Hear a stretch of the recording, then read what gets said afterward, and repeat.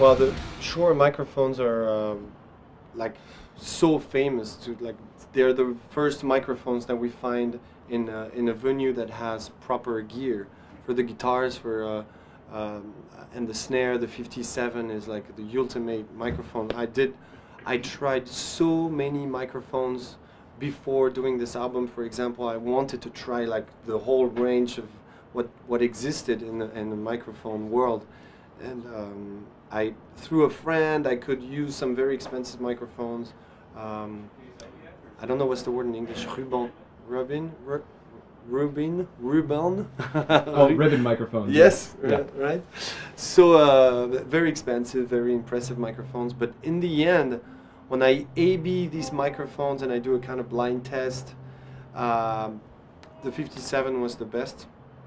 It's already um compressed and kind of the, the EQ and the, the I don't know. I'm not a technician really, but uh, but I like to use my ears a lot and I like to to mix.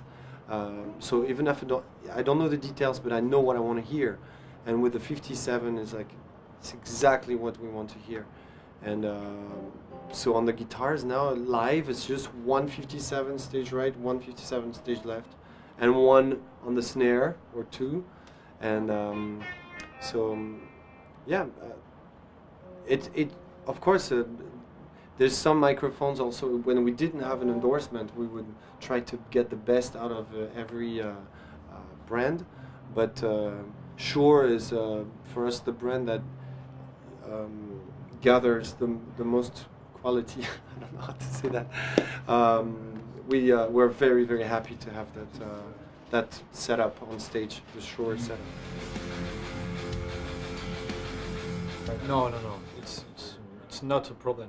Yeah, definitely not a, a problem. It's uh, it's very uh, comment tu dis pratique? practical Practical, very simple, and I, I love it. Actually, I love the sound of my toms. I'm not a technician, you know, so don't ask me anything about it. But uh, I can tell I love this microphone for the toms. yeah our sound guy is uh, very uh, uh, Picky. He's very he's very picky. He's very uh, into small details and like to think about it, talk about it constantly. Uh, this, yesterday I had to ask him, "Can you please stop talking about sound for a second? It's uh, three in the morning."